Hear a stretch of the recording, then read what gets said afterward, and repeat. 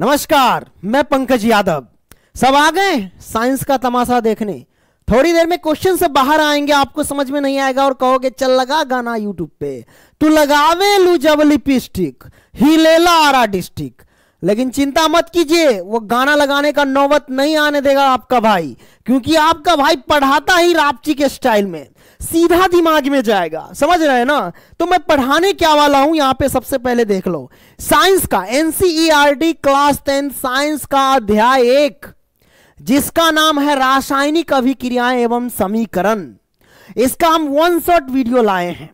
मतलब एक ही वीडियो में सबका, यानी पूरा निचोड़ लेकर के आ गए कहीं आपको भटकने की ज़रूरत नहीं है। यह अध्याय खत्म करने के साथ साथ हम क्या करने वाले हैं?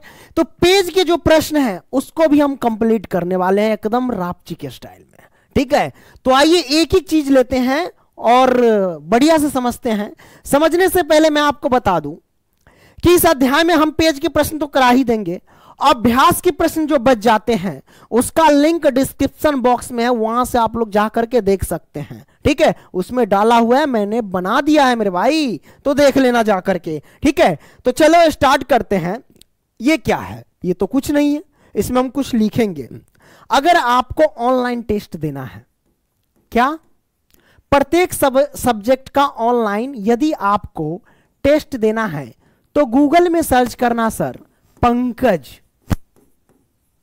study centre, Pankaj study centre dot com, ठीक है? गूगल में सर्च कर लेना, वहाँ प्रत्येक सब्जेक्ट का आप ऑनलाइन टेस्ट दे सकते हैं, ठीक है? अगर आपको पीडीएफ लेना है है ना? यदि आपको मैं जो पढ़ाता हूँ, उसका नोट्स चाहिए तो इस नंबर पे मैसेज करना, पचासी पचासी कैसे लिख दिए ना तरीके। पचासी, इक्यासी, अस्सी, उनतीस उनतीस। इस नंबर पे व्हाट्सएप मैसेज करना और कहना कि हमें पंकज सर का कोर्स लेना है। हमारा जो बंदा बैठा हुआ है, वहाँ पे आपको रिप्लाई दे देंगे, ठीक है? आपसे दो सौ निन्यानवे रुपया लिया जाएगा मात्र। ठीक है? इस बात को ध्यान रखना। तो चलिए हम पहला पॉइंट लेते हैं। यहाँ पे आ गया। देखो क्या है। रासायनिक अभिक्रिया पहला टॉपिक है। कि आखिर हम रासायनिक अभिक्रिया हम कहते किसे हैं? ठीक है? यहाँ पे देखिए क्या लिखा हुआ है। लिखा गया कि रासायनिक अभिक्रिया वे पदार्थ है जिनमें दो या दो से अधिक पदार्थ मिलकर के नए गुणधर्म वाले नए पदार्थ का निर्माण कर देते हैं। उसे ही रासायनिक अभिक्रिया कहते हैं। ठेठ भाषा में ऐसे समझो। किचन में आप चावल लेते हो है ना? चावल ले लेना और जल लेना। जल क्या है लिक्विड है और चावल क्या है? सॉलिड है यानी ठोस है। तो चावल ले लेना और जल ले लेना ठीक है? कुकर में डाल देना। उसको जब हीट करोगे ताप दोगे तो क्या होता है? नया गुणधर्म वाला पदार्थ बन जाता है। यानी दो पदार्थ को मैंने मिलाया है ना? दो चीज़ को मैंने मिलाया। आ, जल को मिलाया और पानी को मिलाया। मतलब जल और पानी जल पानी तो एक ही है मैं क्या बोल रहा हूँ? जैसे पानी लिया और चावल लिया, दोनों को मिला लिया, दोनों की क्वालिटी गुण अलग अलग है है ना? और उसको उष्मा दिया तो नए गुणधर्म वाले पदार्थ बन गए। क्या बन गए? भात बन गया। समझ रहे ना? तो ये रासायनिक अभिक्रिया के उदाहरण ठेठ भाषा में इसे समझो। लेकिन थोड़ा सा केमिस्ट्री के लैंग्वेज में समझो कि मैंने क्या किया? हाइड्रोजन गैस लिया और ऑक्सीजन गैस लिया। दोनों के मिला करके है ना? मिलने से क्या बनता है? H2O यानी जल बन जाता है। क्या बन जाता है? जल। यानी दो पदार्थ जो अलग गुणधर्म वाले हैं, है ना? और इन दोनों को मिलाने से नए गुणधर्म वाले पदार्थ का निर्माण हुआ, वो है जल। क्या बना? जल। तो ये हमारे पास रासायनिक अभिक्रियाएँ हुए, ठीक है? तो अगर कभी आपसे कोई क्वेश्चन पूछ दे कि किन किन गैस से मिलने के बाद जल का निर्माण होता है तो आप कहेंगे, हाइड्रोजन और ऑक्सीजन गैस मिलने से जल का निर्माण होता है, जिसका सूत्र सूत्र होता है H2O है ना? यह आपने समझ लिया। दूसरा उदाहरण, मैग्नीशियम है। मैग्नीशियम क्या है? सॉलिड है। देखो, ये एस जी एस ये सब लगा है, ये सब अवस्था को दर्शाता है कि ये किस फॉर्म में है। सॉलिड है, गैस है, गैस के लिए जी लगाते हैं, सॉलिड के लिए एस लगाते हैं एक्वस के लिए ए क्यू लगाते हैं, यानी जलीय विलयन के लिए ए क्यू लगाते हैं लिक्विड के लिए एल लगाते हैं। तो ये जो ब्रैकेट में एस लगा है जी लगा है एस लगा है, ये सब अवस्था को दर्शा रहा है जी कि मैग्नीशियम सॉलिड है। तो मैग्नीशियम को ऑक्सीजन की उपस्थिति में जलाया जाता है तो मैग्नीशियम ऑक्साइड मिलता है। यानी मैग्नीशियम का दहन करता है है ना? तो मैग्नीशियम और ऑक्सीजन से मिलने के बाद क्या मैग्नीशियम ऑक्साइड का निर्माण हुआ, है ना? तो ये रासायनिक अभिक्रिया के उदाहरण हो गए। कोई दिक्कत? नहीं दिक्कत। अब देखिए नोट्स मैंने लिखा, यहाँ पे कुछ पॉइंट कि रासायनिक अभिक्रिया को भौतिक विधियों से पलट नहीं कर सकते हैं। मतलब रासायनिक अभिक्रिया होता है। आप पुनः जैसे कि चावल ले लिए, है ना? आप पानी ले लिए हीट कर दिए उसको तो भात बना। अब भात को पुनः हम चावल नहीं बना सकते हैं, है ना? इस बात को ध्यान रखना। तो वही लिखा है कि रासायनिक अभिक्रिया को भौतिक विधियों से पलट नहीं कर सकते कौन कौन जैसे कि वाष्पीकरण हो गया ऊर्ध्वपातन हो गया उपकेंद्रीकरण हो गया, इन विधियों से हम पुनः जैसा है वैसा हम नहीं ला सकते हैं, है ना? तो ये आपने समझ लिया। नेक्स्ट रासायनिक अभिक्रिया के उदाहरण। क्या क्या है, वो हमें यहाँ पे देख लो। भोजन का पकना, ये भी एक रासायनिक अभिक्रिया के उदाहरण है है ना? श्वसन, ये भी एक रासायनिक अभिक्रिया के उदाहरण है। दूध से दही बनना, जैसे दूध होता है उसमें जोरन डाल देते हैं, है ना? तो ये भी एक रासायनिक अभिक्रिया के ही उदाहरण है। मैग्नीशियम रिबन को वायु में जलाने पर मैग्नीशियम ऑक्साइड का बनना, ये भी रासायनिक अभिक्रिया के ही उदाहरण। जैसे मैग्नीशियम रिवन को मैग्नीशियम रिबन क्या होता है? सॉलिड होता है। मैग्नीशियम रिवन को वायु की उपस्थिति में, है ना? यानी ऑक्सीजन की उपस्थिति में जब हम जलाते हैं तो मैग्नीशियम ऑक्साइड मैग्नीशियम ऑक्साइड का बनना। यह भी क्या होता है? रासायनिक अभिक्रिया के उदाहरण, जैसे पीछे वाले पेज पे मैंने आपको बताया था कि मैग्नीशियम को ऑक्सीजन की उपस्थिति में जब हम जलाते हैं तो मैग्नीशियम ऑक्साइड का बनना। वही बात यहाँ पे लिखा गया है कि मैग्नीशियम रिवन को वायु में जलाने पर मैग्नीशियम ऑक्साइड का बनना, है ना? तो मैग्नीशियम ऑक्साइड का बनना, ये रासायनिक अभिक्रिया के उदाहरण है। ये आपने समझा। कोई दिक्कत हवट खुजली, परेशानी, नहीं ना? तो ये आपने समझा। नेक्स्ट नेक्स्ट कहता है कि रासायनिक अभिक्रिया के दौरान होने वाले परिवर्तन। जब रासायनिक अभिक्रियाएँ होती है तो क्या क्या लक्षण आते हैं क्या क्या परिवर्तन आते हैं, उसके बारे में मैं आपको बताने जा रहा हूँ। तो रासायनिक अभिक्रिया जब होती है तो अवस्था में भी परिवर्तन होता है। है ना? क्या होता है? अवस्था में परिवर्तन हो जाता है। ठोस से हो सकता है लिक्विड बन जाए लिक्विड से गैस बन जाए तो ये अवस्था में परिवर्तन हो जाता है। रंग में भी परिवर्तन होता है, यानी रंग भी चेंज हो जाते हैं। ठीक है? तापमान में परिवर्तन। तापमान में परिवर्तन यहाँ पे होता है, यानी हीट टेम्परेचर टेम्परेचर में भी इसका परिवर्तन होता है, जब रासायनिक अभिक्रिया होता है। गैस का भी उत्सर्जन होता है, यानी गैस भी निकलते हैं। यह आपने समझ लिया। नेक्स्ट अब हम समझेंगे अभिकारक और उत्पाद के बारे में, है ना? तो मैंने यहाँ पे लिखा अभिकारक और यहाँ उत्पाद। इसको समझने के लिए यहाँ पे समझिए। जैसे कि मैग्नीशियम मैग्नीशियम को ऑक्सीजन की उपस्थिति में जलाया जाता तो मैग्नीशियम ऑक्साइड बनता है। यहाँ पे गौर कीजिए, ये हमारे पास इस साइड जो होते हैं, इसको हम अभिकारक कहते हैं। क्या बोलते हैं सर इसको? तो इसको हम बोलते हैं अभिकारक। तो ये हमारे पास अभिकारक हो गया। और ये हमारे पास ये क्या है? उत्पाद है। उत्पाद, है ना? तो अभिकारक किसे कहते हैं? जो रासायनिक अभिक्रिया में भाग लेता है, उसे अभिकारक कहते हैं। और रासायनिक अभिक्रिया में भाग लेने के फलस्वरूप जो बनता है, उसे हम उत्पाद कहते हैं। डिफिनेशन के लिए यहाँ पे समझो कि अभिकारक आखिर हम कहते किसे हैं? तो अभिकारक वैसे पदार्थ को कहते हैं जो रासायनिक अभिक्रिया में भाग लेते हैं। जैसे मैग्नीशियम और ऑक्सीजन, ये रासायनिक अभिक्रिया में भाग लेते हैं तो इसे हम अभिकारक कहते हैं। तो याद रखना, इस साइड वाले जो होंगे वो अभिकारक होंगे और इस साइड वाले जो होंगे, वो उत्पाद होंगे। ठीक है? तो उत्पाद किसे कहते हैं? उत्पाद वैसे पदार्थ को कहते हैं जिसका निर्माण अभिकारकों से मिलकर के होता है। जैसा अभिकारक मिला और बनने के बाद एक नया पदार्थ बना, मैग्नीशियम ऑक्साइड तो अभिकारकों से मिलकर के जो बना पदार्थ, उसे हम उत्पाद कहते हैं। तो आपने अभिकारक और उत्पाद को बेहतरीन तरीके से समझ लिया। अभिकारक को अभिकर्मक भी कहते हैं, इस बात को ध्यान रखना। ठीक है? नेक्स्ट हेलो हेलो तो नेक्स्ट हमारे पास है रासायनिक समीकरण सर तो हम रासायनिक समीकरण को बढ़िया से समझेंगे। रासायनिक समीकरण हम किसे कहते हैं? देखिए, रासायनिक अभिक्रिया, यहाँ पे क्या लिखा मैंने कि रासायनिक अभिक्रिया को रासायनिक समीकरण द्वारा निरूपित किया जाता है। रासायनिक अभिक्रिया को रासायनिक समीकरण द्वारा निरूपित किया जाता है। जैसे ये रासायनिक अभिक्रिया है, और इसको निरूपित किसमें किया गया? रासायनिक समीकरण के द्वारा निरूपित है ये। ठीक है, रासायनिक समीकरण द्वारा निरूपित किया जाता है रासायनिक समीकरण के अभिकारकों और उत्पादों में पदार्थ के प्रतीक, यानी सूत्र का इस्तेमाल किया जाता है। जैसे मैग्नीशियम का सूत्र क्या होता है? है ना, संकेत क्या होता है? एम होता है। तो एम लगा दिया गया। वही बात है कि पदार्थ के प्रतीक, यानी सूत्र का इस्तेमाल किया जाता है। मैग्नीशियम का देखिए एम सूत्र लगा हुआ है। ऑक्सीजन का, ओ लगा है। है ना, मैग्नीशियम ऑक्साइड का एम लगा है। तो यहाँ पे सूत्र का इस्तेमाल किया गया है ना। तो प्रतीक, यानी सूत्र का इस्तेमाल किया जाता है। प्रतीकों के साथ साथ उसकी भौतिक अवस्था को भी दर्शाया जाता है। यानी वो किस फॉर्म में है? ठोस है, द्रव है, गैस है या जलीय विलियन है। तो उस अवस्था को भी दर्शाया जाता। है तो याद रखना, यदि कोई ठोस है तो उसके लिए एस लगाते यानी सॉलिड है ना? सॉलिड के लिए एस लगाते हैं, ठोस वाला रहेगा तो है ना? यदि कोई लिक्विड है, यानी जल के अवस्था में, पानी के रूप में है है ना? लिक्विड के फॉर्म में तो उसके लिए एल लगाते हैं। बोले तो द्रव जहाँ पे रहेगा, द्रव की अवस्था में, उसके लिए एल लगाते हैं लिक्विड गैस के फॉर्म में है तो जी लगाते हैं।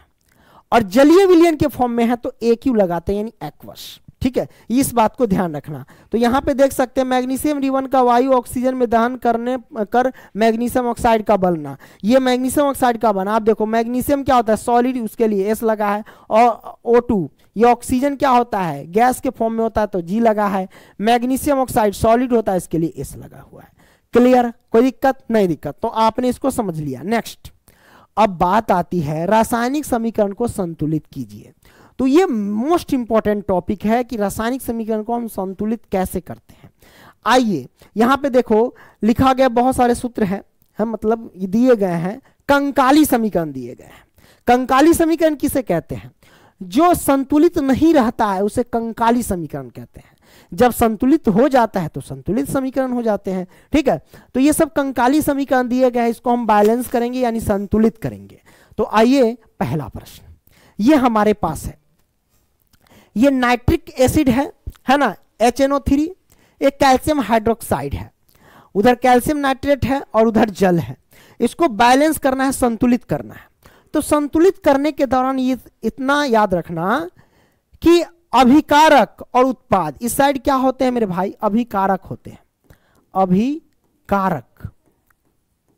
अभिकारक होते हैं और इस साइड उत्पाद होते हैं। है ना? तो याद रखना, अभिकारक में जितने भी हमारे पास तत्व दिए गए हैं तो तत्वों की परमाणु संख्या जितनी होगी, उतनी ही इधर भी होना चाहिए।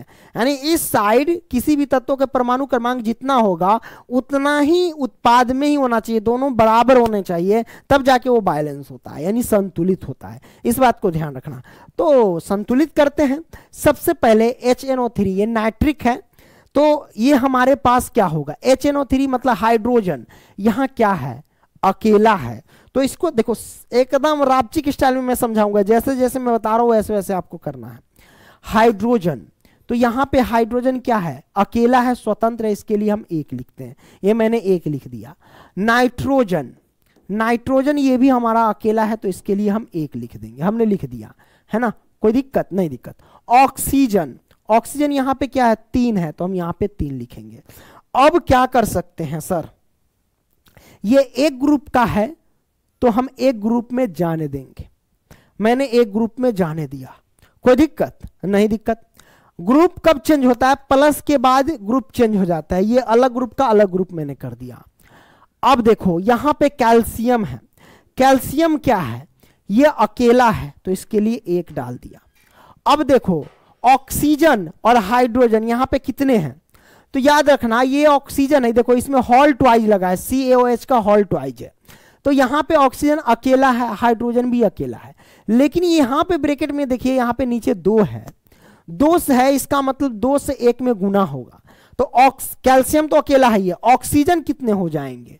तो ऑक्सीजन यहाँ पे हो जाएँगे। देखिए, एक से दो में गुना करेंगे तो दो। ऑक्सीजन की संख्या दो है। एक से यहाँ दो में गुना करेंगे तो दो होगा। यानी हाइड्रोजन की भी संख्या दो है यहाँ पे। कोई दिक्कत? नहीं दिक्कत। तो ये मैंने लिख दिया हाइड्रोजन की संख्या दो। है ना? तो ये हमारा क्लियर हो। ये समझ में आया कि नहीं? ये सब समझो, है ना? कैसे दो हो गया? कैल्शियम तो अकेला था, ये ब्रैकेट के बाहर था, इसलिए अकेला। लेकिन ये साथ में था, दो लगा हुआ था। मतलब देखो ऑक्सीजन पहले से अकेला तो एक से दो में मल्टीप्लाई करेंगे दो, एक से दो में मल्टीप्लाई करेंगे दो तो ये हाइड्रोजन भी दो हो जाएँगे। तो ये आपने समझ लिया। अब इस साइड देखते उत्पाद की तरफ़। कैल्शियम यहाँ पे क्या है? कैल्शियम अकेला है, इसके लिए एक लगाएँगे। अब देखो, नाइट्रोजन यहाँ पे अकेला है तो दो से एक में गुना कर देंगे तो नाइट्रोजन हमारे पास हो जाएँगे दो। अब यहाँ देखो, ओ हमारे पास है, ओ, ऑक्सीजन, है ना?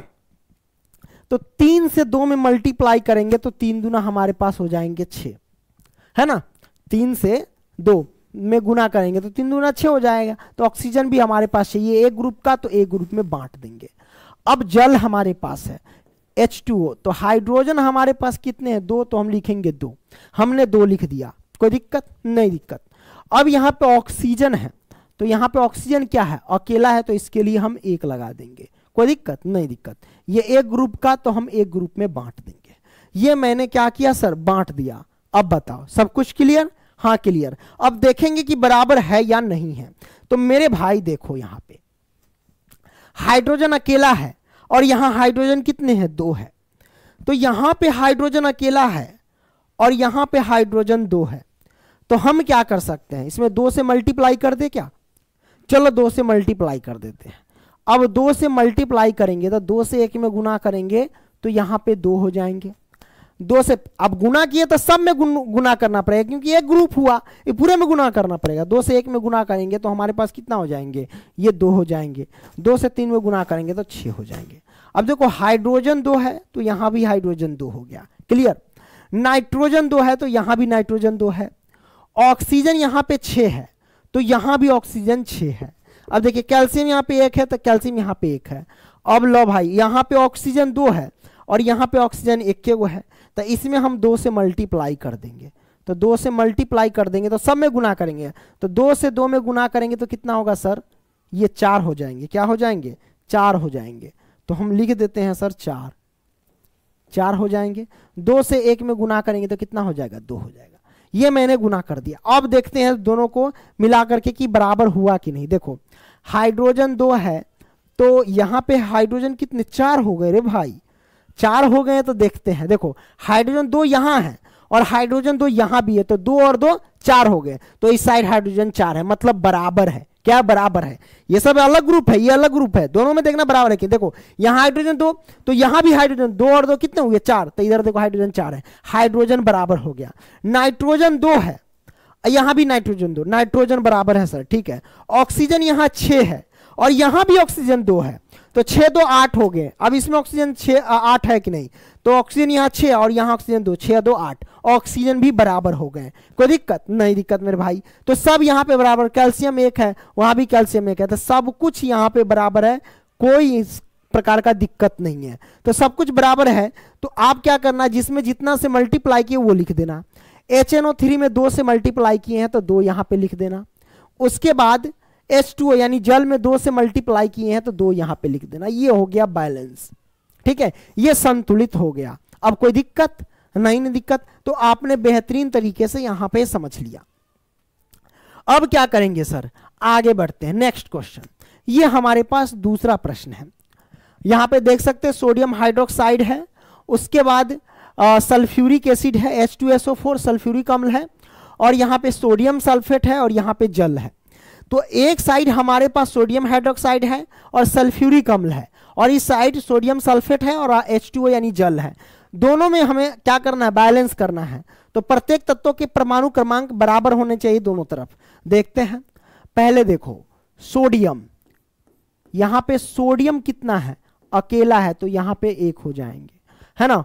ऑक्सीजन कितना यहाँ पे? अकेला है, इसके लिए हमारे पास एक हो जाएँगे। हाइड्रोजन यहाँ पे कितना है? अकेला है तो इसके लिए हमारे पास एक हो जाएँगे। ये एक ग्रुप का है तो एक ग्रुप में बांट दो, ठीक है? हमने एक ग्रुप में बांट दिया। अब कोई दिक्कत? नहीं दिक्कत। H2SO4 है यहाँ पे, है ना? अब इसमें देखो, ये एक ग्रुप का, प्लस के बाद ग्रुप चेंज हो जाता है। हाइड्रोजन हमारे पास कितने हैं, सर? हाइड्रोजन यहाँ पे हमारे पास दो है। SO4 यानी यहाँ पे ए सल्फ़र कितने हैं यहाँ पे? अकेला है, ठीक है? और ऑक्सीजन कितने यहाँ पे? चार है। तो हम यहाँ पे चार लिख दिए। ये एक ग्रुप का है तो एक ग्रुप का। ये मैंने बांट दिया। कोई दिक्कत? नहीं दिक्कत। अब यहाँ से हम क्या कर सकते हैं? ये सोडियम सल्फेट है। अब देखो यहाँ पे, सोडियम। सोडियम हमारे पास दो है। सल्फ़र यहाँ पे क्या है? अकेला है। ऑक्सीजन यहाँ पे क्या है? चार है। ये एक ग्रुप का है तो एक ग्रुप का हमने बांट दिया। कोई दिक्कत? नहीं दिक्कत मेरे भाई। यहाँ पे आ गया। अब प्लस के बाद ग्रुप चेंज होता है। यहाँ पे जल है। हाइड्रोजन कितने हैं? दो है। ऑक्सीजन कितने हैं सर यहाँ पे अकेला है। तो एक ग्रुप का है तो एक ग्रुप का। अब दोनों देखो ये बराबर है या नहीं। तो चलिए हम क्या करते हैं? बराबर कर देते हैं सबको। सोडियम अकेला तो सोडियम यहाँ पे दो है। तो इसमें क्या करो? दो से मल्टीप्लाई कर दो। क्लियर तो हम दो से मल्टीप्लाई किए तो दो से एक में गुना करेंगे तो दो हो जाएगा। तो इसमें भी गुना करेंगे। दो से एक में गुना करेंगे तो यहाँ पे दो हो जाएँगे। क्लियर अब देखो, दो से एक में गुना करेंगे तो यहाँ भी दो हो जाएँगे। ओके मैंने गुना कर दिया। सोडियम दो तो यहाँ भी सोडियम दो। यहाँ ऑक्सीजन दो है। और यहाँ पे ऑक्सीजन कितना? अकेला है। तो इसमें दो से मल्टीप्लाई कर दो। तो यहाँ पे दो से मल्टीप्लाई कर देंगे। दो दूनी कितना हो जाएँगे? चार हो जाएँगे। दो एकम दो हो जाएँगे। अब बराबर करके देखो सर। सोडियम दो तो सोडियम दो। ऑक्सीजन यहाँ पे दो है और यहाँ भी ऑक्सीजन दो है। लेकिन गौर करो, यहाँ ऑक्सीजन दो है और नीचे भी ऑक्सीजन चार है। तो ऑक्सीजन दो, ऑक्सीजन चार चार दो छः यानी ऑक्सीजन हुआ छः इस साइड देखते हैं ऑक्सीजन छः है कि नहीं। ऑक्सीजन यहाँ पे चार गो है, यहाँ पे ऑक्सीजन दो है तो चार दो छः ऑक्सीजन बराबर है और सोडियम भी बराबर है। हाइड्रोजन का देख लेते हैं। हाइड्रोजन यहाँ दो है तो अच्छा यहाँ हाइड्रोजन दो है, यहाँ हाइड्रोजन चार है। नीचे भी देखो हाइड्रोजन है क्या? हाँ है। हाइड्रोजन दो और हाइड्रोजन दो दो दो कितना हुआ? चार। तो यहाँ भी हाइड्रोजन चार। ये बराबर है सर तो ऑक्सीजन भी बराबर हाइड्रोजन भी बराबर और सोडियम भी बराबर। अब सल्फ़र देख लेते हैं। सल्फ़र यहाँ पे एक है, यहाँ भी सल्फ़र एक है। तो सल्फ़र भी यहाँ पे बराबर है। तो सब कुछ यहाँ पे बराबर हो गया, यानी संतुलित हो गया। जब संतुलित हो गया तो हम क्या करें? जिसमें जितना से मल्टीप्लाई किए, उतना कर दो। इसमें हमने क्या किया है? दो से मल्टीप्लाई किया है तो दो लिख देंगे। जल में कितना से मल्टीप्लाई किया है, सर? दो से मल्टीप्लाई किया तो दो से कर दिए। अब ये हमारे पास संतुलित हो गए बैलेंस हो। क्लियर ये आपने समझ लिया। आगे बढ़ते हैं। ये ये क्वेश्चन आपको नज़र आ रहा होगा कि ये पहले से संतुलित है। जैसे यहाँ सोडियम अकेला है तो यहाँ भी सोडियम अकेला है। बैलेंस संतुलित है। क्लोरीन यहाँ अकेला है तो यहाँ भी क्लोरीन अकेला है। ये भी संतुलित है। मतलब यहाँ तक बराबर है। एजी यानी चांदी बोले तो सिल्वर। सिल्वर यहाँ अकेला है, यहाँ भी सिल्वर अकेला है। बराबर है, ठीक है। एनो थ्री देखो यहाँ पे नाइट्रोजन एक है, कह सकते हो। तो यहाँ भी नाइट्रोजन अकेला है, ठीक है। ऑक्सीजन तीन है तो यहाँ भी ऑक्सीजन तीन है। तो ये बराबर है, पहले से ये संतुलित है। संतुलित करने की कोई ज़रूरत नहीं। जो चीज़ ऊपर लिखा है, वही चीज़ नीचे लिख दो और कह दो संतुलित है। तो ये आपने देख लिया। नेक्स्ट डी बेरियम क्लोराइड है और सल्फ्यूरिक अम्ल है। यहाँ बेरियम सल्फेट है और हाइड्रोक्लोरिक अम्ल है। इसको संतुलित करना है। कैसे करेंगे? तो बेरियम की संख्या बेरियम कितने हैं? अकेला है तो एक लिख दो। क्लोरीन कितने हैं सर क्लोरीन यहाँ पे दो है तो यहाँ पे दो लिख दो। ये एक ग्रुप का तो ये हमारे पास एक ग्रुप का है। यहाँ पे सल्फ्यूरिक अम्ल है है ना? तो H2SO4 है। हाइड्रोजन कितने हैं सर? यहाँ पे दो है तो दो लिख देंगे। सल्फ़र कितने हैं सर? सल्फ़र यहाँ पे अकेला है तो एक लिख देंगे। है ना? ऑक्सीजन कितने हैं सर? यहाँ पे चार है तो यहाँ पे चार लिख देंगे। है ना? ये आपने देख लिया। ओके? अब यहाँ से क्या करेंगे सर? ये एक ग्रुप का है। अब इस साइड हमारे पास अलग ग्रुप का है। देखो बेरियम कितना है सर यहाँ पे? अकेला।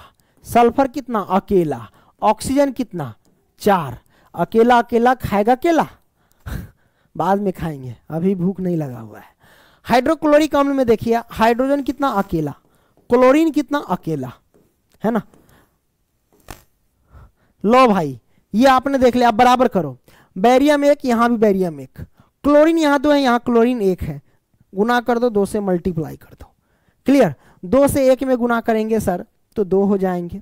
दो से एक में गुना करेंगे तो दो हो जाएँगे। अब देखो, बेरियम एक बेरियम एक, ठीक है। क्लोरीन दो, यहाँ भी क्लोरीन दो है। चलिए, यहाँ तक बराबर, क्लोरीन दो तक बराबर हो गया, है ना? बेरियम भी बराबर है। हाइड्रोजन दो है, यहाँ भी हाइड्रोजन दो हो गया, बराबर है। सल्फ़र एक है, यहाँ भी सल्फ़र एक है, बराबर है। लेकिन यहाँ पे ऑक्सीजन चार है, यहाँ भी तो ऑक्सीजन चार है। ये भी बराबर है। सब कुछ हमारे पास बराबर आ गया जब हम इसमें एचसीएल में दो से मल्टीप्लाई कर दिए। कितने से गुना किए थे सर? दो से मल्टीप्लाई किए, दो रख दो। ये हो गया संतुलित। क्लियर तो आपने इसको बेहतरीन तरीके से सर समझ लिया। जब समझ लिए हैं तो थोड़ा पानी पी लेते हैं। और तब तो बाद आगे बढ़ेंगे।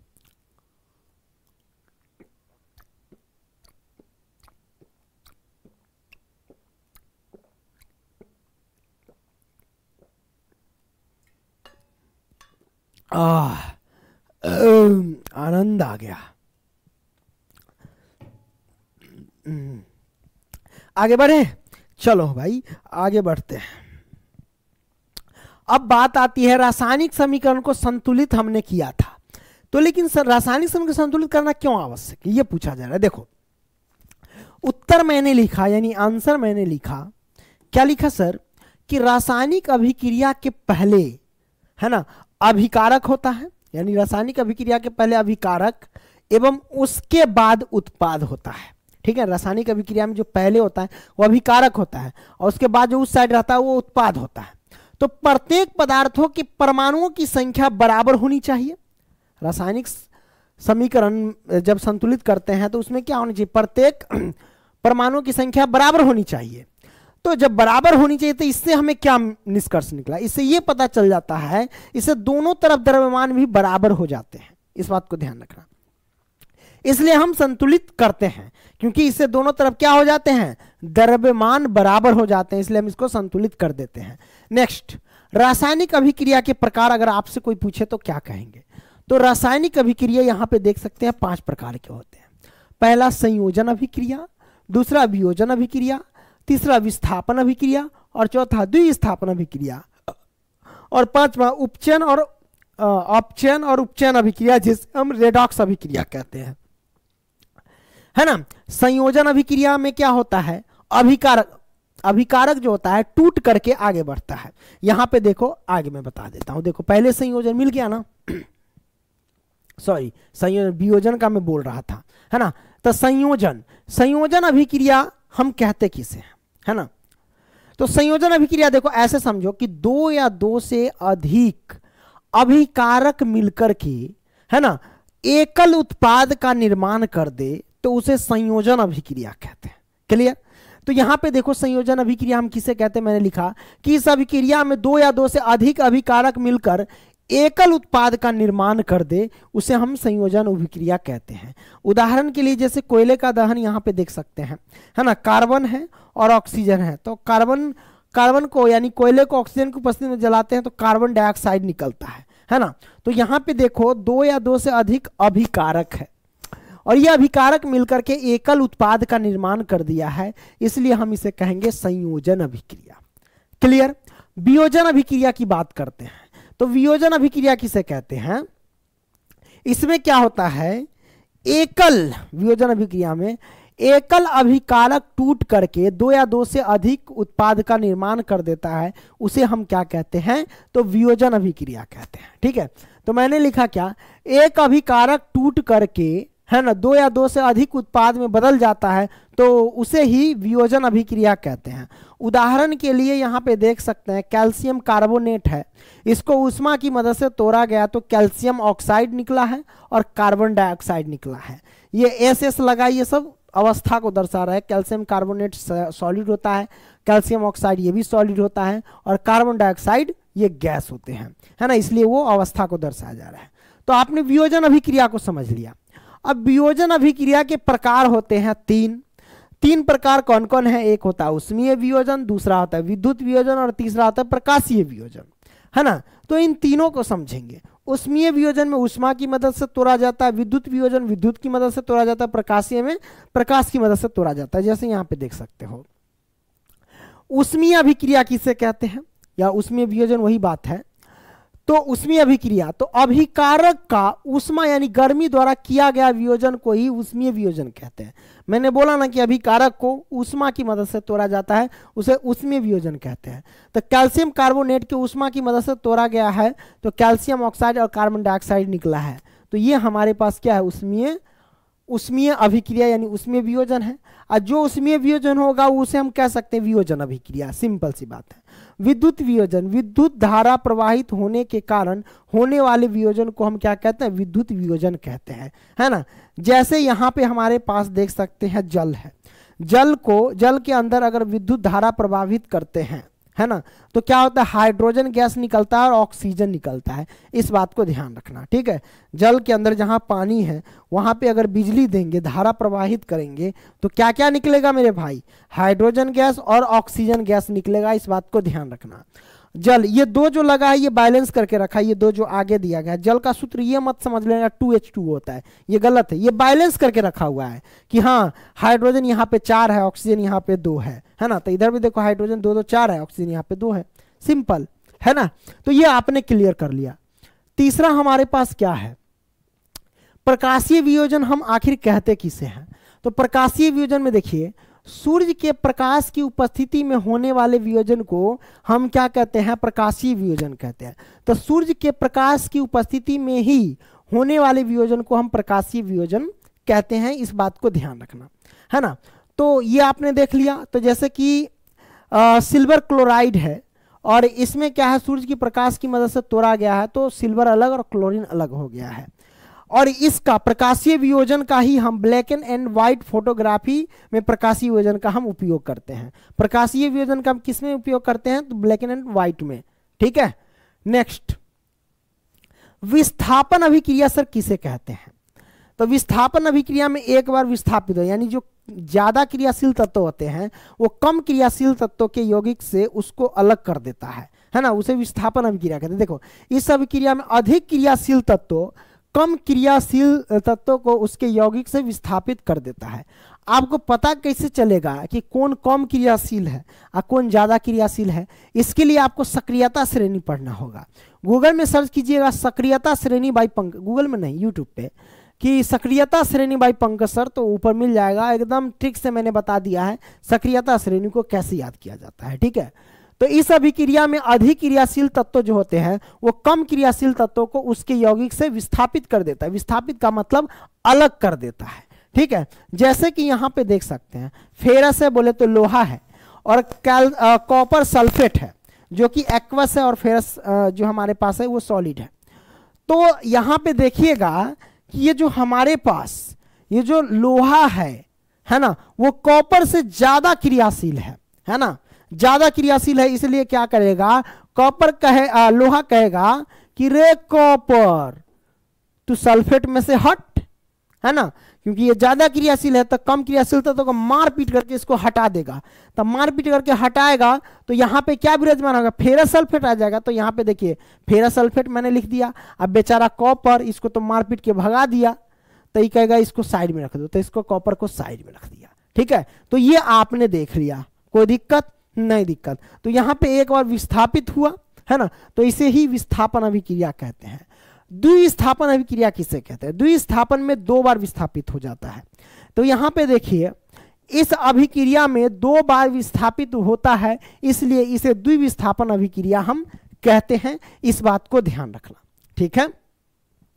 जैसे कि यहाँ पे देख सकते हैं, सोडियम सल्फेट है और बेरियम क्लोराइड है है ना? तो एक बार क्या करेगा, जैसे सोडियम सल्फेट जो है, इसी के यौगिक से इसको विस्थापित कर देगा बेरियम को। तो सोडियम के जगह, बेरियम की जगह पे क्या आ जाएगा मेरे भाई?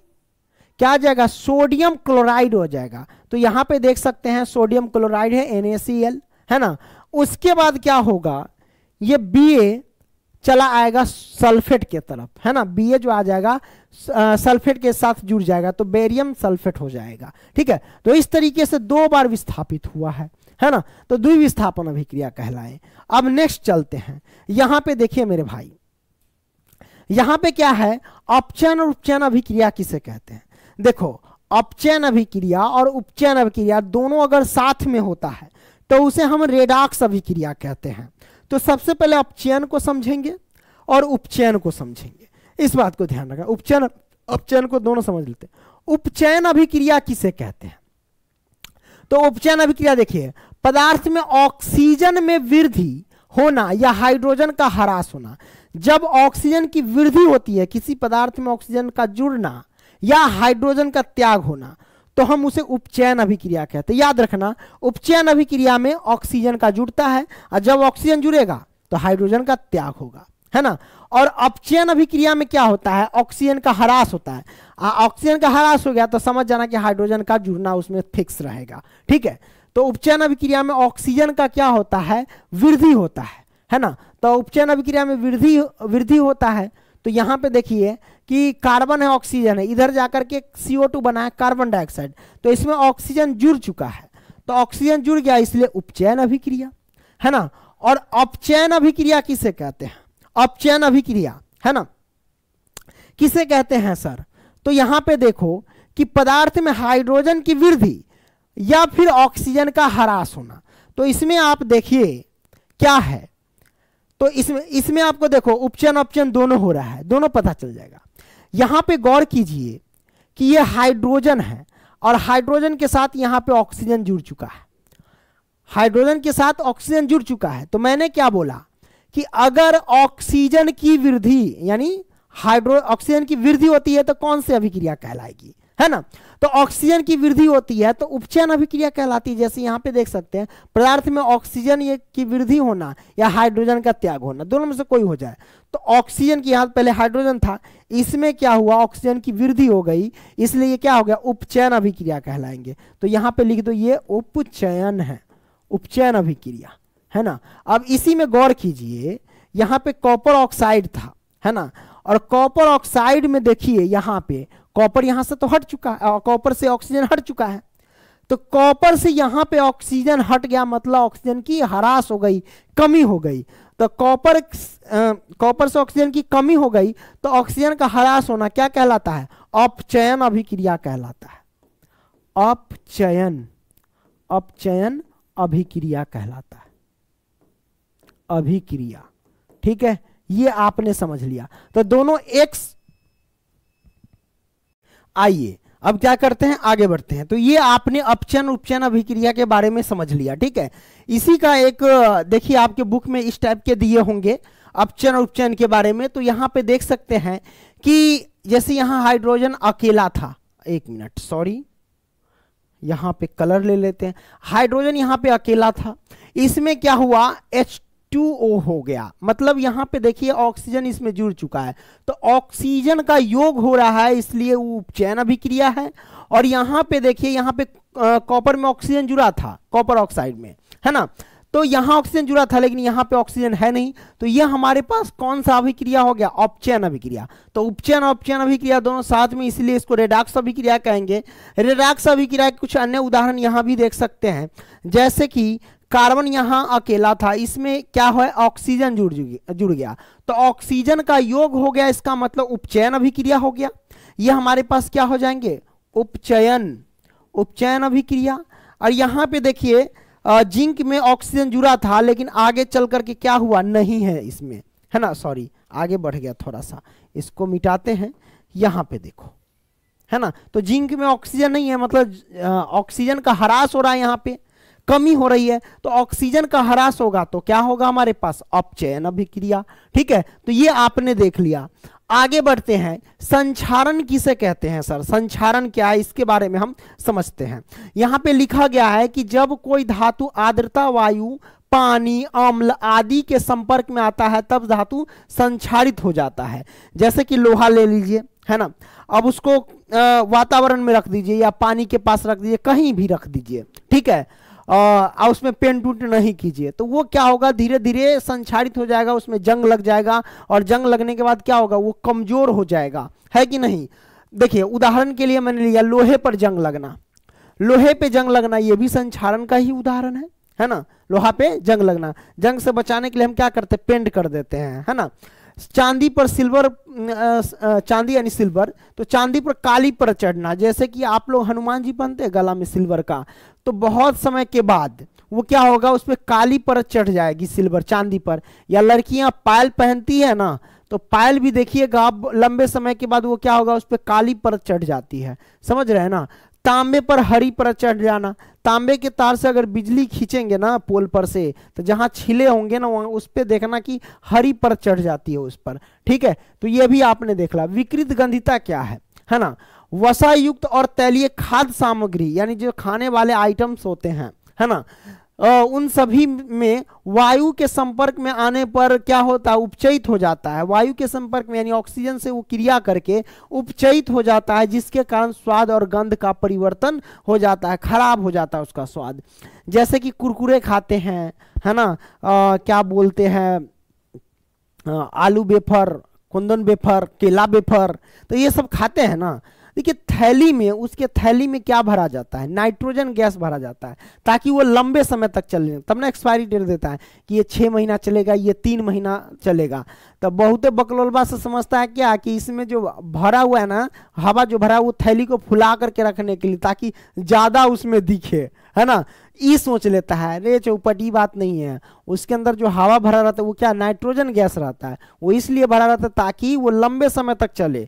अगर देखिएगा उसमें से नाइट्रोजन गैस, यानी जो हवा निकला हुआ है, फूट गया, कहीं से लीकेज हो गया तो उतना दिन तक जितना एक्सपायरी डेट दिया रहता है, उतना दिन तक चलबो नहीं करता, वो कुछ दिन में खराब हो जाएगा, है ना, ऑक्सीजन के संपर्क में आने से। ठीक है? इसीलिए उसमें क्या है, नाइट्रोजन गैस भर दिया जाता है थैली सब में, आलू चिप्स के थैली सब में, है ना? कुरकुरे हो गया मूंग दाल हो गया सब में। तो ये आपने समय विकृत गंधिता क्या होता है? तो वसा युक्त और तैलीय खाद्य सामग्री वायु के संपर्क में आने पर उपचयित हो जाता है, जिसके कारण स्वाद और गंध में परिवर्तन हो जाता है। ठीक है, ये आपने समझ लिया विकृत गंधिता उष्मा छेपी अभिक्रिया सर किसे कहते हैं? है ना? जिन अभिक्रिया में उत्पाद के निर्माण के साथ साथ उष्मा का, है ना? उष्मा का प्राकृतिक गैस का दहन उष्मा का भी उत्सर्जन होता है, यानी उष्मा निकलता है। है ना? उसी को हम क्या कहते हैं? उष्मा छेपी अभिक्रिया जैसे प्राकृतिक गैस का दहन, मीथेन का दहन करते हैं, यानी मीथेन को ऑक्सीजन की उपस्थिति में जलाएँगे ना तो इधर उत्पाद है, उत्पाद के साथ, उत्पाद में कार्बन डाइऑक्साइड है ना, जल। तो उत्पाद के साथ साथ उष्मा निकला, है ना? उत्पाद के साथ साथ क्या निकला मेरे शेर? हाँ शेर नहीं, ललीपॉप। तो उत्पाद के साथ साथ क्या निकला मेरे भाई? तो ये आपने समझ लिया, देख लिया कि उत्पाद के साथ साथ उष्मा का यहाँ पे निकला निकला हुआ है ना? तो वही बात है है ना? डिफिनेशन को ये सेटिस्फाइड कर रहा है। तो ये आपने समझ लिया, कोई दिक्कत? नहीं दिक्कत। नेक्स्ट क्वेश्चन उष्मा शोषी अभिक्रिया किसे कहते हैं? तो जिन अभिक्रिया में अभिकारक को तोड़ने के लिए उष्मा, प्रकाश या विद्युत ऊर्जा की आवश्यकता होती है, अभिकारक को तोड़ने के लिए। जैसे ये अभिकारक है, इस अभिकारक को तोड़ने के लिए उष्मा, प्रकाश और ऊर्जा की आवश्यकता होती है, उसे ही उष्मा शोषी अभिक्रिया कहते हैं। जैसे उदाहरण, वियोजन अभिक्रिया के तरह ही बिल्कुल होते हैं उष्मा शोषी अभिक्रिया। जैसे कैल्शियम कार्बोनेट है, इसको उष्मा की मदद से तोड़ा गया है तो कैल्शियम ऑक्साइड तथा कार्बन डाइऑक्साइड निकला हुआ है। ठीक है? तो ये भी उष्मा शोषी अभिक्रिया, आपने समझ लिया। Next question. अब कुछ बचा नहीं, अब हम डायरेक्ट चलेंगे पेज के प्रश्न के। जो आपके बुक में दिए गए हैं, पेज के प्रश्न, उसको हम सॉल्व करेंगे। तो जैसा कि देख सकते हैं, इस पेज के प्रश्न में टोटल तीन प्रश्न दिए गए हैं। तीनों प्रश्न को रापची के स्टाइल में समझेंगे। तो पहला प्रश्न है, वायु में जलाने से पहले मैग्नीशियम रिवन को साफ़ क्यों किया जाता है? ये क्वेश्चन यहाँ पे देख सकते हैं। लिखा गया है कि वायु में जलाने से पहले मैग्नीशियम रिवन को साफ़ क्यों किया जाता है? तो ये हमारे पास मैग्नीशियम रिवन है और ये हमारे पास रेगमाल है, जिसे हम साफ़ करते ये आप देखे ही होंगे जैसे घरों का खिड़की पेंट उंट करवाते होंगे, है ना? या फिर दरवाज़ा जो लोहा का गेट होगा, उसको पेंट करवाते होंगे तो पहले क्या करता है मजदूर? उसको घीस देता है बढ़िया से, कि ताकि जंग हट जाए, और तब जाके उस पर पेंट चढ़ाया जाता है ना? ये रेगमाल देखे होंगे। तो देखो, मैग्नीशियम रिबन को आखिर जलाने से पहले जो मैग्नीशियम रिबन है, इसको जलाने से पहले रेगमाल से साफ़ क्यों किया जाता है? क्योंकि मैग्नीशियम रिबन पे मैक्सी मैग्नीशियम ऑक्साइड की परत चढ़ जाती है। तब परत चढ़ जाती है, जो मैग्नीशियम ऑक्साइड, उसको जलने में रो, अवरोध पैदा करता है, विरोध करता है कि न जल दे न जल देबो, है ना?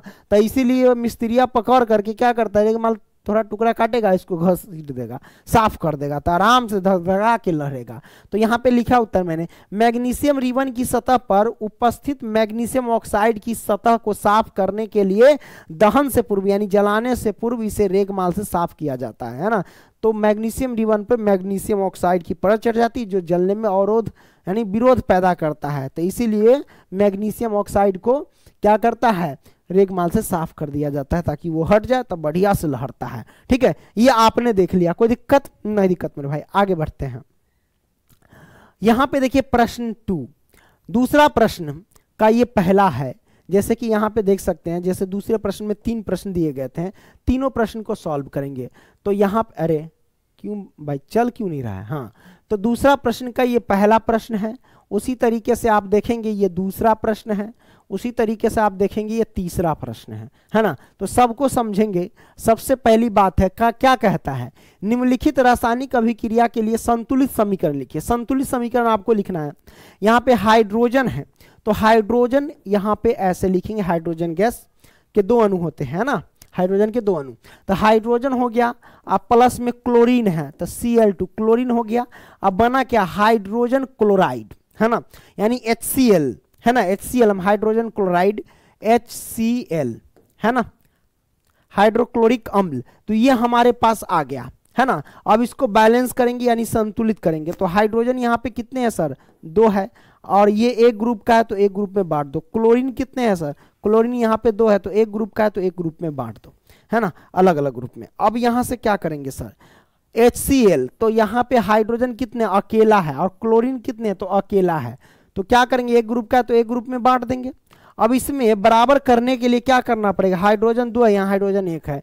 तो इसके लिए आप दो से मल्टीप्लाई कर दो सर दो से मल्टीप्लाई कर देंगे तो क्या होगा? हमारे पास हाइड्रोजन कितना हो जाएगा? दो हो जाएगा, है ना? रुको, ऐसे करो। मिटा दिए हमने। यहाँ पे दो से मल्टीप्लाई कर दो। तो दो से मल्टीप्लाई दो एकम दो। तो हाइड्रोजन हो गया दो और क्लोरीन भी यहाँ पे दो एकम दो। तो सब यहाँ पे बराबर हो गया हाइड्रोजन दो तो हाइड्रोजन भी दो क्लोरीन दो तो क्लोरीन भी दो। यानी इसमें दो से मल्टीप्लाई किए तब। तो ये हमारे पास संतुलित समीकरण प्राप्त हो गए। नेक्स्ट क्वेश्चन यहाँ पे बेरियम क्लोराइड है प्लस में एल्यूमिनियम सल्फेट है। अभिक्रिया करके बेरियम सल्फेट बनाता है और एल्यूमिनियम क्लोराइड बनाता है। तो हमें इसे संतुलित करना है। तो सबसे पहले इसका समीकरण जो लिखेंगे तो संकेत के रूप में यानी सूत्र के रूप में लिखते हैं। तो यहाँ पे देखिए, हम सारा चीज़ मैंने लिख दिया। एल्यूमिनियम सल्फेट का क्या होता है सूत्र? A L two S O four का हॉलथराइज। बेरियम सल्फेट का क्या होता है? बी एस ओ फोर होता है। एल्यूमिनियम क्लोराइड का सूत्र क्या होता है? A L C L three होता है। और बेरियम क्लोराइड है, यहाँ पे मैंने बेरियम क्लोराइड नहीं लिखा, कोई बात नहीं। तो यहाँ पे बेरियम क्लोराइड तो देख सकते हैं B A C L two होता है बेरियम क्लोराइड तो हम यहाँ पे लिखते हैं B A C L two B A C L two barium chloride plus में एल्यूमिनियम सल्फेट तो यहाँ पे देख सकते हैं एल्यूमिनियम सल्फेट है। क्या है? A L two S O four का होल थ्राइज ठीक है? ये मैंने लिख दिया। अब रिएक्शन करके क्या बना? बेरियम सल्फेट बना। तो देख सकते हैं बेरियम सल्फेट क्या बी एस ओ फोर है। बेरियम सल्फेट तो B A S O four barium sulphate आप प्लस में एल्यूमिनियम क्लोराइड है तो एल्यूमिनियम क्लोराइड क्या होता है B S C L two तो बी एल्यूमिनियम क्लोराइड का B S C L two कहाँ से होगा दूध चौपट है ना क्या होगा A L C L three क्या हो जाएगा A L C L three है ना एल्यूमिनियम क्लोराइड अब यहाँ पे आ गया मेरे भाई यहाँ से क्या करेंगे है ना यहाँ से क्या करेंगे हम? तो देखो, चलो भाई, इसको क्या करेंगे? संतुलित करेंगे। तो बेरियम कितने हैं भाई यहाँ पे? बेरियम अकेला है तो अकेला रख दिए। क्लोरीन कितने हैं? क्लोरीन यहाँ पे दो है तो दो रख दिए। ये एक ग्रुप का तो एक ग्रुप का। यहाँ पे एल्यूमिनियम कितना है? एल्यूमिनियम यहाँ पे दो है तो दो कर देंगे। अब एल्यूमिनियम दो रख दिए। अब देखिए, सल्फ़र यहाँ पे अकेला है तो सल्फ़र कितने हो जाएँगे, सर? सल्फ़र यहाँ पे एक से तीन में गुना करेंगे तो तीन हो जाएँगे। अब यहाँ पे ऑक्सीजन कितने हैं? ऑक्सीजन यहाँ पे चार है। चार से तीन में गुना कर देंगे, चार तीन बारह। ये सब आता ही होगा। हमने यहाँ पे कर दिया। ये एक ग्रुप का एक ग्रुप कर दिए। अब इधर देखते हैं। बेरियम कितने हैं सर बेरियम अकेला है। अकेला रख दिए। सल्फ़र कितने हैं सर अकेला है तो अकेला। ऑक्सीजन कितने हैं? चार तो चार। ये एक ग्रुप का तो एक ग्रुप में बांट दिए। एल्यूमिनियम कितना है सर अकेला है। और क्लोरीन कितना है, सर? तो तीन है। ये एक ग्रुप का तो एक ग्रुप में बांट दिए अब इसको हम क्या करेंगे? बैलेंस करेंगे। तो हम क्या करते हैं, सर? देखिए, क्या करेंगे, सर? देखिए, बैरियम कितना? एक तो बैरियम एक है। क्लोरीन यहाँ दो है और यहाँ क्लोरीन तीन है। मिल नहीं रहा है। तो चलो, इसको छोड़ो, पहले दूसरे को समझे। एल्यूमिनियम दो है, यहाँ एल्यूमिनियम एक है। तो बराबर करने के लिए इसमें दो से मल्टीप्लाई करो। दो से एक में गुना करेंगे तो दो दो से तीन में गुना करेंगे तो छः हो जाएँगे। है ना? ये आ गया। अब देखो, बेरियम अकेला बेरियम अकेला। क्लोरीन दो है और यहाँ पे क्लोरीन छः है। तो बराबर करने के लिए इसमें कितना से मल्टीप्लाई करना पड़ेगा? तीन से। तो तीन एकम तीन हो जाएँगे और तीन दुना छः हो जाएँगे। हमने छः कर दिया। अब बेरियम तीन हो गया और यहाँ बेरियम एक है। तो इसमें मल्टीप्लाई कर दो तीन से। तीन से मल्टीप्लाई कर देंगे। तीन एकम तीन हो जाएँगे। फिर तीन एकम तीन हो जाएँगे और तीन चौके बारह हो जाएँगे। यानी ऑक्सीजन भी बारह हो गया। ऑक्सीजन भी क्या हो जाएगा? बारह हो जाएगा, सर। है ना? चार तीन बारह। अब बराबर करके देखो। बैरियम तीन बैरियम तीन है। क्लोरीन छ है। तो क्लोरीन यहाँ पे छ है। चलो ठीक है। एल्यूमिनियम यहाँ पे दो है। एल्यूमिनियम कितने? दो है। तो यहाँ भी एल्यूमिनियम दो है। चलो बराबर है। सल्फ़र तीन है। तो यहाँ भी सल्फ़र तीन है। बराबर है। ऑक्सीजन बारह यहाँ भी देख सकते हैं ऑक्सीजन बारह, सब बराबर हो गया मतलब ये संतुलित हो गया। तो यहाँ पे हम लिख देंगे, क्या लिख देंगे सर? ये B A C L two है ना? तो इसमें हमने तीन से मल्टीप्लाई किया तो तीन लिखेंगे। अब इसमें हमने कितना? बी एस ओ फोर है ना? बेरियम सल्फेट में तीन से मल्टीप्लाई किया तो तीन लिखेंगे। और एल सी एल थ्री है तो एल्यूमिनियम क्लोराइड में दो से मल्टीप्लाई किया तो दो लिखेंगे। तो ये हमारे पास संतुलित हो गया। अब कोई दिक्कत? नहीं दिक्कत मेरे भाई। तो आपने इसको समझ लिया। तीसरा हमारे पास है सोडियम। N A sodium. आप प्लस में जल मतलब H2O ये जल हो गया। अभिक्रिया करके सोडियम हाइड्रोक्साइड, यानी N A O H sodium hydroxide अब प्लस में हाइड्रोजन गैस मतलब H2 ये देता है। अब इसको हम संतुलित करेंगे। तो संतुलित करने के लिए हम क्या कर सकते हैं इसमें? सोडियम यहाँ पे ऐसे लिख लो सोडियम सोडियम कितने हैं? अकेला है तो अकेला ये एक ग्रुप का एक ग्रुप में बांट दिए। हाइड्रोजन कितने एच टू में हाइड्रोजन यहाँ पे दो है और ऑक्सीजन यहाँ पे एक है। तो ये एक ग्रुप का तो एक ग्रुप में बांट दिए। अब यहाँ पे सोडियम कितना है? अकेला है तो अकेला। ऑक्सीजन कितना है? आ, यहाँ पे अकेला है तो अकेला। है ना? अकेला। और हाइड्रोजन कितना है? यहाँ पे अकेला है तो अकेला। ये मैंने कर दिया। कोई दिक्कत? नहीं दिक्कत। ये एक ग्रुप का तो एक ग्रुप में बांट दिए। हाइड्रोजन यहाँ पे दो है तो दो। लो, अब बराबर करो। सोडियम अकेला सोडियम अकेला है। हाइड्रोजन दो तो यहाँ हाइड्रोजन एक है वैसे, है ना? तो गुना करेंगे तो दो दो, चार हो जाएँगे। अच्छा चलो, कोई दिक्कत नहीं, हम गुना कर देते हैं। लो।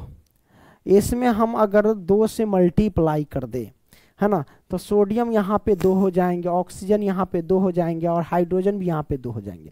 बराबर करके देखो सोडियम एक है, यहाँ सोडियम दो है, इसमें दो से मल्टीप्लाई कर दो।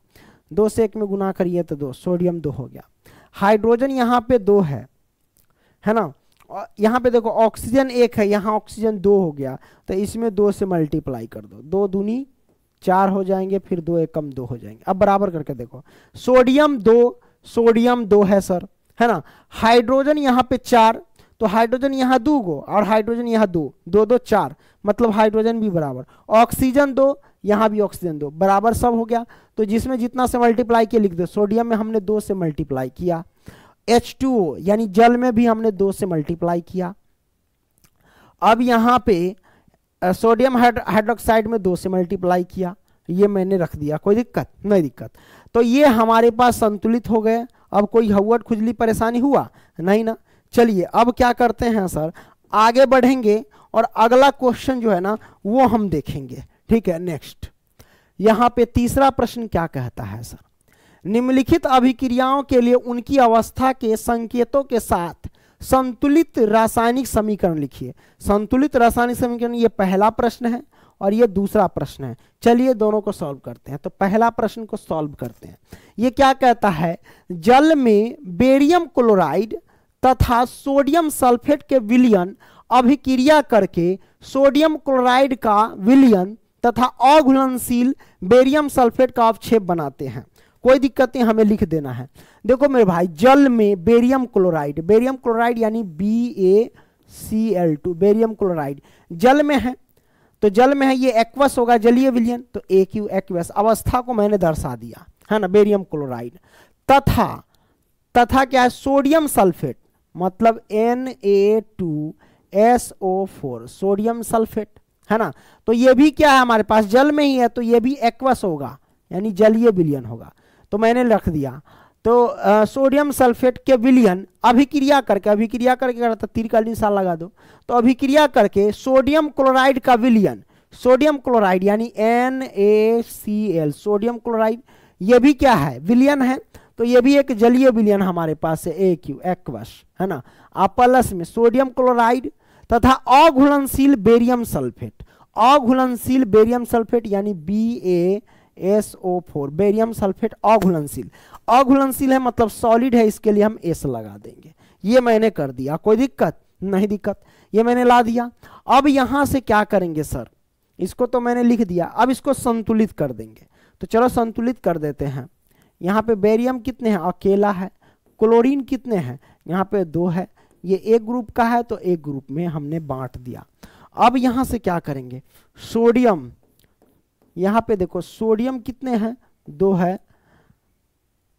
आ, सल्फ़र कितने हैं? एक है। और ऑक्सीजन कितने हैं? चार है। ये मैंने एक ग्रुप का है तो एक ग्रुप में बांट दिए। अब यहाँ पे लो क्या करेंगे? आ, इस ग्रुप में देखो यहाँ पे सोडियम कितने हैं सर? अकेला है। क्लोरीन कितने हैं? अकेला है। एक ग्रुप का है तो एक ग्रुप में बांट देंगे। बेरियम कितने हैं सर? अकेला है। सल्फ़र कितने हैं सर? अकेला है। और ऑक्सीजन कितने हैं सर? चार है। ये एक ग्रुप का है तो एक ग्रुप में बांट देंगे। ठीक है? ये मैंने रख दिया। अब बराबर को बेरियम एक। तो यहाँ बेरियम एक है। क्लोरीन दो। यहाँ क्लोरीन एक है। दो से मल्टीप्लाई कर दो सर। दो से मल्टीप्लाई कर देंगे तो ये दो। ये भी हमारे पास दो हो जाएँगे। अब देखो, क्लोरीन दो हो गया तो इधर भी क्लोरीन दो है, बराबर है। सोडियम यहाँ पे दो है तो यहाँ भी सोडियम दो, ठीक है। सल्फ़र यहाँ पे एक है तो सल्फ़र यहाँ पे एक है। ऑक्सीजन यहाँ पे चार है। एक मिनट, देखने दो। हाँ ठीक है, ऑक्सीजन चार है तो ऑक्सीजन चार है। बेरियम एक तो यहाँ बेरियम एक तो सब कुछ बराबर हो गया। अब यहाँ पे कोई चीज़ करने की ज़रूरत नहीं है। तो हमने एन में दो से मल्टीप्लाई किया है। तो हम यहाँ पे दो लिख देंगे। कोई दिक्कत? नहीं दिक्कत। तो ये संतुलित हो गया। बेरियम एक बेरियम एक। क्लोरीन दो क्लोरीन दो। सोडियम दो सोडियम दो है। सल्फ़र एक तो सल्फ़र एक। ऑक्सीजन चार तो ऑक्सीजन चार। सब कुछ बराबर हो गया। तो ये मैंने कर दिया मेरे भाई। अब यहाँ पे दूसरा प्रश्न देखते हैं। दूसरा प्रश्न। सोडियम कहता है हाइड्रोक्साइड? सोडियम हाइड्रोक्साइड सबसे पहले लिख लो, सर। Sodium hydroxide. तो N A O H sodium hydroxide हो गया, है ना? तो सोडियम हाइड्रोक्साइड का विलियन जल में जल में है यानी एक ही होगा एक्वस होगा, जलीय विलियन। जल में आप प्लस सोडियम हाइड्रोक्साइड का विलियन जल में हाइड्रोक्लोरिक अम्ल के विलियन हाइड्रोक्लोरिक अम्ल यानी एच सी एल हाइड्रोक्लोरिक अम्ल ये भी हमारे पास एक वैसे जलीय विलियन है कहता है जल में। से अभिक्रिया करके अभिक्रिया करके सोडियम क्लोराइड मतलब N A C L sodium chloride. तो जल जल में से अभिक्रिया करके सोडियम क्लोराइड यानी NaCl तो सोडियम क्लोराइड का विलियन तथा जल बनाते हैं। सोडियम क्लोराइड का विलियन तथा जल बनाते हैं है ना? जल बनाते हैं सोडियम क्लोराइड ये भी हमारे पास क्या है? एक्वस है जलीय विलियन है। और जल आ, क्या बनाते हैं? सोडियम क्लोराइड का विलियन तथा जल बनाते हैं यानी प्लस में H2O H2O जल बनाती है, क्या है लिक्विड है? ये मैंने लिख दिया। कोई दिक्कत? नहीं दिक्कत मेरे भाई। अब यहाँ से क्या करेंगे? अब यहाँ से दोनों को बैलेंस करेंगे। देखिए सोडियम अकेला, यहाँ भी सोडियम पहले यहाँ पे ऐसे लिख लो। चलो। सोडियम यहाँ पे अकेला है तो अकेला ऑक्सीजन यहाँ पे एक है तो हाइड्रोजन यहाँ पे एक है। एक ग्रुप का है तो एक ग्रुप में बांट देंगे। एच यानी हाइड्रोजन यहाँ पे एक है सी एल यहाँ पे एक है तो एच सी एल यहाँ पे हमने एक ग्रुप का बांट दिया। अब इस साइड देखो सोडियम यहाँ पे अकेला क्लोरीन यहाँ पे एक, है ना? और एक ग्रुप का है तो एक ग्रुप में बांट देंगे। हाइड्रोजन यहाँ पे देखिए हाइड्रोजन यहाँ पे दो ऑक्सीजन यहाँ पे एक, है ना? एक ग्रुप का है तो एक ग्रुप में बांट देंगे। अब यहाँ से क्या कर सकते हैं? सोडियम एक सोडियम एक, ठीक है। ऑक्सीजन एक है तो यहाँ भी ऑक्सीजन एक, ठीक है। हाइड्रोजन एक है तो यहाँ हाइड्रोजन दो है, इसलिए इसमें हम दो से मल्टीप्लाई कर देंगे। तो ये हो जाएगा दो, ये भी दो हो जाएगा, ये भी दो हो जाएँगे। अब देखो, सोडियम दो, यहाँ सोडियम अकेला है तो दो से मल्टीप्लाई कर दो। सोडियम यहाँ पे दो, क्लोरीन यहाँ पे दो हो जाएँगे। अब बराबर करके देखो, सोडियम दो तो सोडियम दो है। ऑक्सीजन यहाँ पे दो है तो ऑक्सीजन यहाँ पे अकेला है। तो इसके लिए हम इसमें क्या करेंगे? दो से मल्टीप्लाई कर देंगे, है ना? तो चलो दो से मल्टीप्लाई कर देते हैं। दो दूना चार हो जाएँगे और दो एकम दो हो जाएँगे। क्लियर अब देखो, देखते हैं बैलेंस करके तब क्या होता है कि नहीं होता है। सोडियम यहाँ दो सोडियम यहाँ पे दो हो गया। ऑक्सीजन यहाँ पे दो है तो ऑक्सीजन भी यहाँ पे दो हो गया, ठीक है। हाइड्रोजन यहाँ दो है तो हाइड्रोजन यहाँ पे चार है तो हाइड्रोजन यहाँ दो, है ना? हाइड्रोजन यहाँ पे दो है और यहाँ पे हाइड्रोजन एक इसमें क्या करो, दो से मल्टीप्लाई कर दो। दो से एक में गुना करेंगे तो दो, और दो एकम दो। अब बराबर करके देखो देखो सोडियम दो है, सोडियम दो है, ठीक है। ऑक्सीजन दो है तो यहाँ पे ऑक्सीजन दो है, बराबर है। हाइड्रोजन दो और यहाँ पे हाइड्रोजन दो दो चार तो यहाँ हाइड्रोजन चार है, बराबर है, ठीक है। क्लोरीन यहाँ पे दो है, क्लोरीन यहाँ पे दो है तो सब कुछ बराबर हो गया, सर। तो जिसमें जितना से मल्टीप्लाई किए वो लिख दो। तो हमने देखिए सोडियम हाइड्रोक्साइड में दो से मल्टीप्लाई किया, हमने लिख दिया। एच में दो से मल्टीप्लाई किया तो दो लिख दिया। उसके बाद सोडियम क्लोराइड में हमने दो से मल्टीप्लाई किया तो यहाँ पे दो लिख दिया, है ना? और एच यानी जल में दो से मल्टीप्लाई किया तो दो लिख दिया। ये मैंने क्लियर कर दिया, कोई दिक्कत? नहीं ना? आगे बढ़ते हैं। अब यहाँ पे देखो, कहता है किसी पदार्थ एक्स के विलियन। यहाँ पे क्या कहता है? किसी पदार्थ एक्स के विलियन है ना? हम्म। किसी पदार्थ एक्स के विलियन का उपयोग सफेदी करने के लिए होता है। तो पदार्थ एक्स का नाम तथा इसका सूत्र बताइए। इस पदार्थ एक्स का नाम क्या है? तो पहला का आपको क्या बताना है? नाम। इस पदार्थ एक्स का नाम क्या है? और इसका सूत्र क्या है? है ना? तो हम दोनों लिखेंगे। देखो तो एक्स के विलियन का उपयोग सफेदी करने के लिए किया जाता है। तो कैल्शियम ऑक्साइड होगा। क्या हो जाएगा, सर जी? कैल्शियम ऑक्साइड, नाम क्या होगा? Calcium oxide oxide. ठीक है? ये हमारे पास हो गया कैल्शियम ऑक्साइड। और सूत्र क्या होगा, सर? तो सी ए ओ कैल्शियम ऑक्साइड। अब यहाँ पे कोई दिक्कत? नहीं ना दिक्कत? और कैल्शियम ऑक्साइड को ही हम क्या कहते हैं? बिना बुझा हुआ चूना। बिना बूझा हुआ चूना, बूझा हुआ चूना। क्लियर ये आपने समझ लिया, है ना? अब यहाँ पे क्या करना है सर दूसरा में कहता है कि ऊपर, यानी एक में लिखे पदार्थ एक्स की जल के साथ अभिक्रिया कराओ। मतलब पदार्थ, ऊपर जो हमारे पास जो पदार्थ है, उसको जल के साथ अभिक्रिया करना है। तो ऊपर कौन सा पदार्थ है? कैल्शियम ऑक्साइड है। तो यहाँ दूसरा काम सॉल्व कर कैल्शियम ऑक्साइड है। इसको जल के साथ अभिक्रिया कराएँगे। है ना? तो क्या देगा? है ना? जल के साथ जब अभिक्रिया कराएँगे तो क्या देगा? तो ये देगा सी ए ओ एच का हॉल कैल्शियम हाइड्रोक्साइड देगा। है ना? तो ये हो गया हमारे पास। और कैल्शियम हाइड्रोक्साइड क्या होता है? बुझा हुआ चूना होता है। वो बिना बुझा हुआ चूना। और ये होता है बुझा हुआ चूना। तो हम यहाँ पे लिख देते हैं, बुझा हुआ चूना। क्लियर तो ये आपने समझ लिया। अब कोई दिक्कत? नहीं दिक्कत मेरे भाई, आगे बढ़ते हैं। दूसरा प्रश्न, क्रियाकलाप एक साथ में एक प्रखनली में एकत्रित गैस की मात्रा दूसरी से दुगुनी क्यों है? उस गैस का नाम बताइए। है ना? तो आंसर मैंने लिखा कि द्रव्यमान संरक्षण के अनुसार जब जल के दो अणु, जल के दो अणु अपघटित होते हैं, तब हाइड्रोजन गैस के दो अणु तथा ऑक्सीजन गैस का एक अणु उत्पन्न होता है है ना? अतः उत्पन्न हुई हाइड्रोजन की मात्रा ऑक्सीजन की मात्रा से दुगुनी होती है, अतः एक प्रखनली में हाइड्रोजन गैस की मात्रा दो गुनी है। ठीक है? क्लियर आगे बढ़ते हैं। अब अगला प्रश्न आता है कि जब लोहे की कील को कॉपर सल्फेट के विलियन में डुबोया जाता है तो विलियन का रंग क्यों बदल जाता है? मतलब जब लोहे की कील को कॉपर सल्फेट के विलियन में डुबाया जाता है तो रंग क्यों बदल जाता है? यही ना पूछा जाता है। जब लोहे की कील को कॉपर सल्फेट के विलियन में डुबोया जाता है तो विलियन का रंग क्यों बदल जाता है? तो यहाँ पे उत्तर मैंने लिखा कि जब लोहे की कील को कॉपर सल्फेट के विलियन में, कॉपर सल्फेट के विलियन में डुबोया जाता है तो विलियन का रंग नीले, यानी पहले नीला होता है तो कॉपर सल्फेट के विलियन का रंग नीले से बदलकर वो क्या हो जाता है? हरा हो जाता है। क्या हो जाता है? हरा हो जाता है। ऐसा क्यों? क्योंकि लोहा कॉपर की अपेक्षा अधिक सक्रिय धातु है। कहने का मतलब यह हुआ कि लोहा कॉपर की अपेक्षा ज़्यादा क्रियाशील धातु है। ठीक है? तो लोहा ज़्यादा क्रियाशील है है ना? तो सक्रिय भी कह सकते हैं या क्रियाशील भी कह सकते हैं। यह कॉपर सल्फेट के घोल में कॉपर सल्फेट के घोल में, क्या कहता है? कॉपर सल्फेट के घोल में कॉपर को विस्थापित करने की क्षमता रखता है तथा आयरन सल्फेट विलियन बना देता है। यह इसका कारण है। तो जैसा कि आप देख सकते हैं यह फेरस है, बोले तो लोहा है है ना? और ये कॉपर सल्फेट के विलियन है। तो लोहा ज़्यादा क्रियाशील है, इसलिए कॉपर सल्फेट के विलियन में से कॉपर को विस्थापित कर देगा, कहेगा मारपीट के भाग।